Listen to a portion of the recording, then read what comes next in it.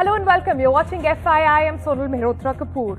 Now, sitting is the new smoking. You've heard about that. Sitting is a silent killer. You've heard that as well. Are you sitting your way straight to the grave? Well, that has been said quite often.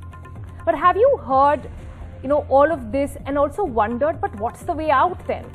If I can't exercise, my work hours are long, what is the way out? Well, we as a generation, remember, have become more sedentary in our lifestyle as well.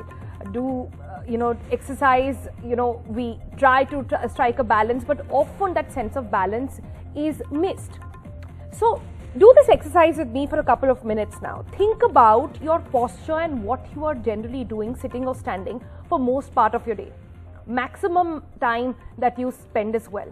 So, one can easily say the maximum time goes at work, especially if you're here in India in office or in your own office where you're mostly sitting. In your car, you're sitting. While you're having your food, you're sitting. And I could go on and on like this. Now, add to this the pandemic, where if you're, you've been intelligent enough, you're not stepping out unless absolutely necessary, and thus we're always restrained at home as well. So, on FYI today, we've got a rather ingenious solution for you. It's a huge trend that has emerged in this pandemic season, and that is a standing desk. And I'm not just talking about it, I've actually lived through it for quite some time now. Even this program is brought to you while I stand and bring you all the details. So let's dive into our explainer now where we tell you all you need to know about standing and working. Let's first talk about uh, the problem itself. What is it that we are trying to solve here and where did the need actually arise from in the first place? Now you see sitting for long hours leads to weakening and wasting away a large leg muscle. Hips and back won't support you well enough. Basically, they get weak. Sitting causes hip flexor muscles to shorten and can lead to problems in the hip joints as well. There are reports now which talk about cancer emerging studies suggesting prolonged sitting may increase chances of developing some types of cancer. Increased risk of heart disease as well is being talked about. Increased insulin resistance in the body as well, basically leading to diabetes if you sit for too long. Increased risk of uh, varicose veins, which are basically means there are faulty valves within your veins that allow blood to pool as well. That can misfunction if you're sitting for too long. And basically, sitting for long hours can cause stiff neck, shoulders. We've all had it. And while all this is being talked about, minded, this is not just some takeaways that people have talked about. This is well established data that has come in eh, in the government of Victoria, Australia, and the Mayo Clinic, UK as well. Well, they have documented all of this. So, well, that's the problem really, and one that has been much talked about. What is the solution? Well, it is quite simple that we are talking about, quite ingenious as many say as well. It is simply standing desks. If you are new to them, let's tell you what they are really. Well, a standing desk, also known as a stand-up desk, is basically standing and working for the entire time that you dedicated to your work. This is a desk that allows you to stand up comfortably while working as well, sit down as well, and give you that flexibility. Your height adjustable desk, etc., are also now in vogue, and the height can be adjusted so that you take breaks from work, sit up when required or feeling tired, and stand up when wanting to shake yourself up as well. But standing is not as easy as it sounds. Trust me, I've been standing and working for over six months now, and if not done properly, can leave you with more aches than help. So, we have for you a standing desk guide. Follow these instructions, and you should not be going wrong. The first thing, if you see in that image very clearly, is that the monitor should be at arm's length away. That is the first thing that you start by. That gives you the point of your standing versus the computer. Second thing then to note is that the top of the computer, the monitor that you work on should be at your eye level. You're not looking up, not looking down, but it should be exactly at your eye level. Your upper arms then should be close to your body. You shouldn't be going on or trying to reach on to the computer or your mouse pad or your keypad. It should all be just right there as you stand and available to you over there. And then the all important thing, your head, neck, torso and your legs. You have to be mindful of the fact that they are all in one line. But how will standing and working actually help? What are the benefits here? Well, the FYI team went through dozens of research papers to bring you this analysis. Now, a lot of papers have talked about how humans are built to stand upright. The heart and the, uh, the cardiovascular system also works more effectively that way. Your bowel functions are more effective when one is upright and a better posture, better spine as well has been seen in people who stand and work. Your weight movement helps your uh, digestion as well, of digestion of your fats, your sugars as well, reduce risk of obesity and lowers long-term mortality, believe it or not, as many research papers have said. It also leads to increased energy levels and better mood. Well, I can vouch for that. And also, standing while working boosts productivity. Well, all this is what research papers have actually talked about it. But as I tell you all the benefits, do remember when we talk about a standing desk, there are some riders also. To start with, standing and working does not mean that you're standing indefinitely. Or if you have like an eight, eight hour work schedule, you are committed to standing all and throughout those eight hours. That is not to be done. Lower back and leg pain can happen if you're endlessly standing and working. Cardiovascular problems can actually happen. It can lead to fatigue, discomfort, muscle pain, leg swelling, sore feet. So if you're experiencing this, that means you're not doing it right. So please take a pause from it, consult your physiotherapist, talk to your doctor and do some proper research before you actually get on board with that as well.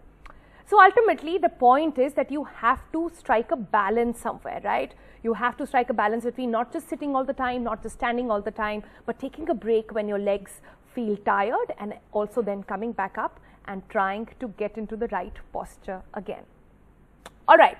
Having understood that, let's take uh, this discussion to our panelists, try and understand from them what works, what does not work when it comes to standing desks. We have with us uh, Dr. Vikram back with us on FYI. Always great to have you. Uh, we have with us Luke Coutinho. Uh, Luke has been talking about various fitness uh, tips online, telling people quick ways in which we can work and we'll get to see his inputs on standing desks as well. We have with us uh, Rohit Mehta. He is a physiotherapist at Max Hospital. And we also have with us Jinal Shah. Uh, she's a senior nutritionist and works with Rujuta uh, as well. Let me start with Dr. Vikram. Dr. Vikram, we talked about this earlier as well, uh, that there have been, we've seen a huge shift in the way uh, people work, people live now because of the pandemic. And you were telling me earlier that during the course of the pandemic and mostly work from home, you've heard so many cases and more patients actually coming to you with uh, back problems, with issues. Some thought it's COVID, it's long COVID impact, but a lot of people who never actually got it are doing, are not realizing, but this could actually be happening because of a bad posture. Yep. Uh, thanks, Sonal. So this pandemic seems to have brought to the forefront a number of issues which we otherwise ignored. Mm-hmm. And the biggest culprit has been a rather sedentary lifestyle mm. and sitting for very long hours. And it's not only sitting, but sitting inappropriately for prolonged periods is what leads to this. And a lot of offices and companies have actually encouraged their employees to have uh, a work from home environment and culture. And what this has basically done is it's made us a little lax. We don't focus as much as to the way we sit, where we sit, the way the laptop is in front of us. So it's extremely important that we focus on these things to make sure that we don't land up with these myriad of issues that you discussed. Hmm. And the important thing when you sit is that your butt and your back need to be well supported when you sit on a computer. And anything in excess is not good. So right. sitting, standing, hmm. anything is in excess is not good. So it's hmm. important to continuously change. And that has been the norm of environment. That's been the norm of the world. So the more you keep changing your posture throughout the day, the more circulation, the more muscles in your body that are exercised, and you're free from all these problems. And right. the most important thing is the moment you keep moving your body, your muscles get pumped, they get exercised, you feel better. Uh, it increases your concentration while you're working, hmm. and uh, you know the zeal to get back to work the next day, though you're working from home, stays with you. All right, let me go to Dr. Rohit next. Dr. Rohit, it's very important to have a good posture. I think that's the bottom line here, standing or sitting while working. And a lot of focus has come to that as well. Now, all these corporate offices have these huge budgets that they've given to their employees to, and they spend a lot on these days getting a comfortable chair, getting a good chair, but not a very expensive chair is a, a good one, is the one good for your spine, is that correct? And I've often heard that there is a formula, right, to this, a 20 20 20 formula where every 20 minutes to half an hour, it is advisable that you change your posture and position a little. Yes, absolutely, absolutely right. Uh, thank you, Sonal, for this question.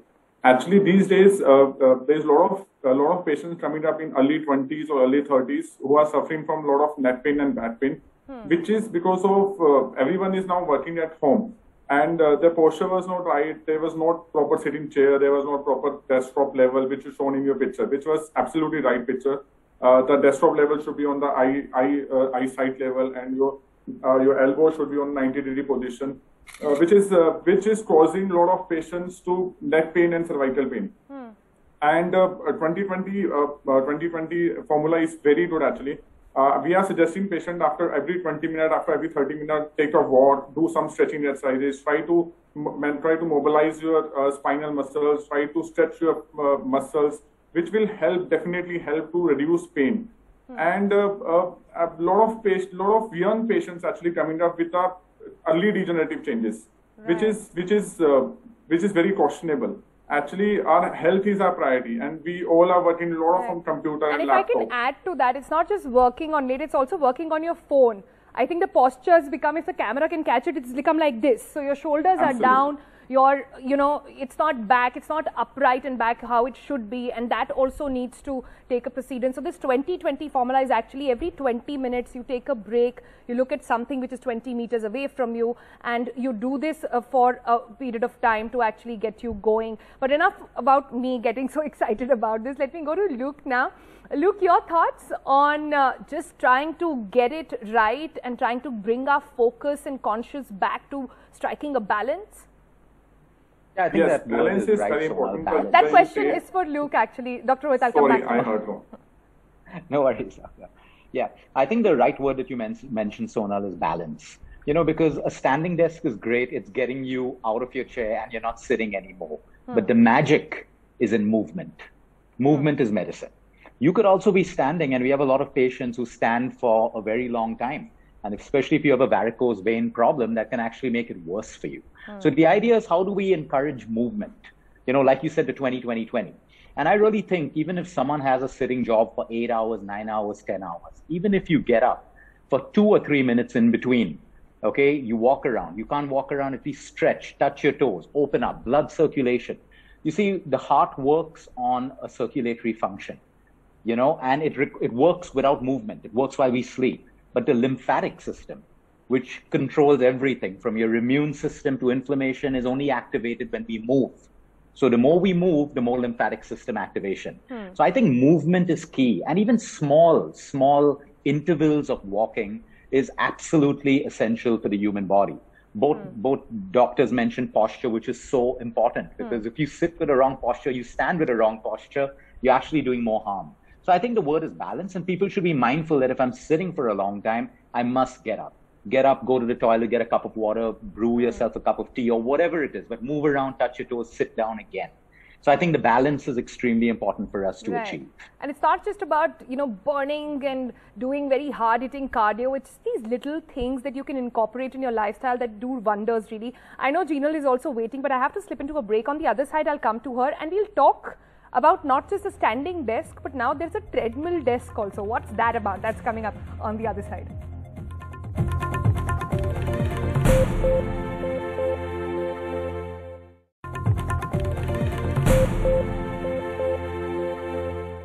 Welcome back. We're discussing standing and working standing desks on the show today. Let's uh, go to Jinal Shah now.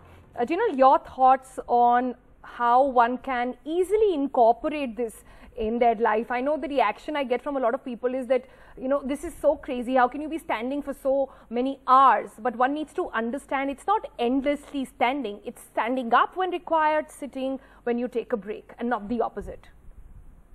Yeah, no, firstly, Sonal, hats off to you, yeah, for standing for the last six months and doing your job. I think that's mind blowing. So, firstly, hats off to you.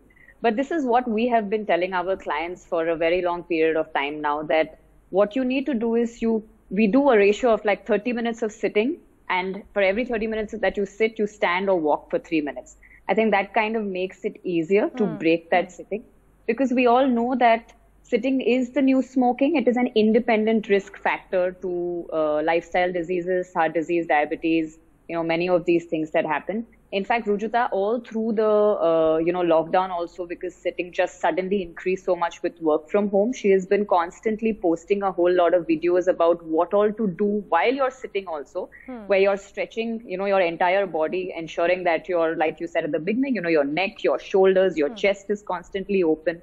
So how that works. So one is 30 is to 3 if you remember that. The other thing that you do is create more opportunities for the body to move. You know with us what typically happens is that as we grow you know in age we kind of just move lesser.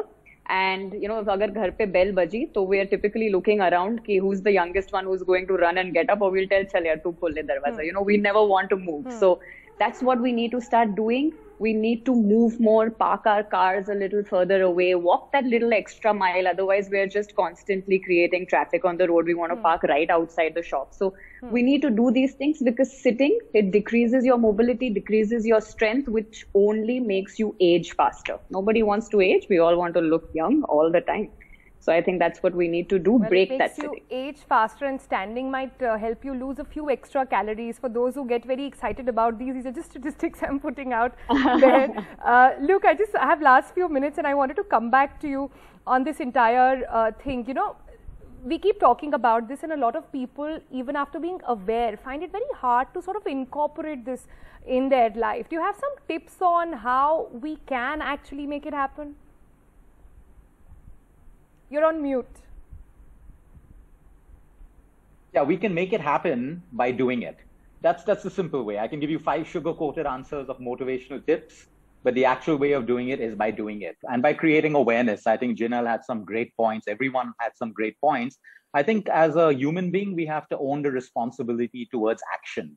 And if we know it's important, I think 30 minutes and three minutes for every 30 minutes you sit is brilliant and it's doable. And people have to own the responsibility to start doing it.